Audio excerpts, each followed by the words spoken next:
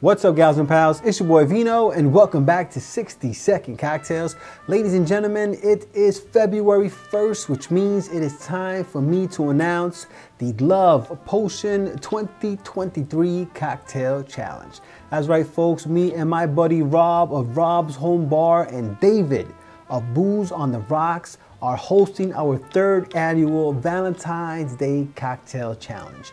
Now remember, this challenge is open to every and anyone, whether you're a content creator or one of our subscribers or a follower, you can go ahead and enter the challenge. But there are three simple rules, all right, folks? The first rule is the cocktail must be red or pink, which is pretty obvious why that is, right? It's festive. The second uh, rule is that you must use a chocolate garnish, right? So you, you interpret that however you want, folks, right? But you have to use a chocolate garnish. And the third rule is use the hashtag love potion 20 2023, right, folks? So, uh, whether you're on Instagram or YouTube or TikTok, Facebook, Twitter, whatever social media platform you are on, use the hashtag and uh, we'll find it and we'll share it with our community, right, folks? So, I'm gonna go ahead and start the festivities off. So, make sure you stick around because we're about to boogie down.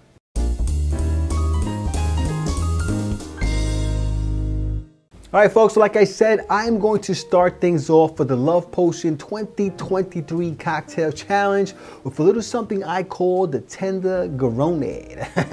That's right, folks. All right, first of all, you can't tell is a Negroni riff, but the real play on words here, it is an old song from my man, Bobby Brown. It was called Tender Roni, And um, it was a love song. And so I thought to myself, Tender Roni and Negroni, come on, that, it's, it's a perfect pairing. So I thought I'd make a little, you know, Valentine's Day themed cocktail based on uh, one of my favorite cocktails and one of my favorite songs, right, folks? So let us look at what is in the sauce, right? Now, the first thing we're gonna need is one ounce of Pisco, okay? I'm using Capel Chilean Pisco. I really like this one because it has some real floral notes, which I think could go really good with the rest of these, uh, uh, these ingredients, which you will see in a moment, all right? So we're gonna do one ounce of Pisco.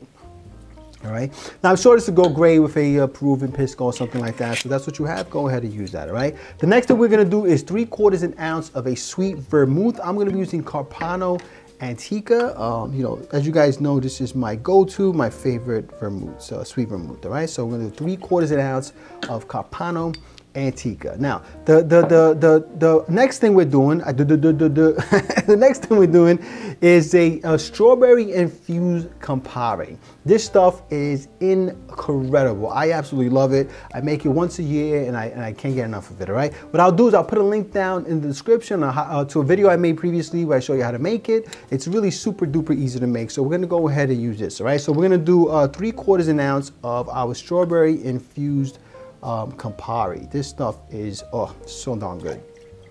All right. And then the next thing we're gonna do is a quarter ounce of some creme de cacao. Right, we're gonna add some little chocolate notes to our cocktail here. Chocolate and strawberries. I mean, come on, it's a match made in heaven, folks. All right, so a quarter ounce of our creme de cacao. Now you're gonna wanna use a clear one here because you wanna try and keep the cocktail as red as possible. It's gonna come out a little maroony maybe, but uh, it's better than brown, right? all right, and then we're gonna do uh, two to three dashes of some chocolate bitters. All right, one, two. All right, I'm gonna do two so it doesn't get too dark there, but we're gonna add a little more chocolate notes to the cocktail. And then we're gonna add some ice to our mixing glass, all right? There we go. And we're gonna stir that for about uh, uh, 25, 30 seconds.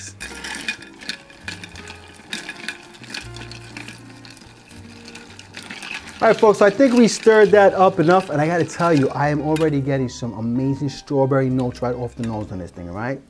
Mm, nice and cold, and I can tell it's gonna be absolutely delicious, all right? So let's go ahead and get our glass I'm gonna be serving that in a rock glass. I have a nice big rock stuck in there already. So let's go ahead and, uh, I'm gonna double strain this because I did not strain out my um, Campari, my infused Campari, so I wanna make sure I don't get any strawberry bits in the cocktail. Even though I wouldn't mind it, you know, I just wanna keep it nice and clear. There we go, all right? So there is it, our beautiful, delicious, Tendegroni is looking good. All right, beautiful, beautiful.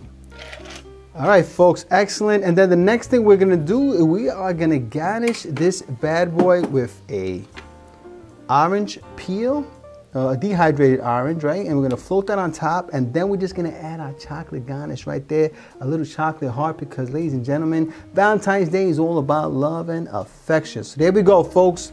That looks awfully delicious. Our tender Grone cocktail.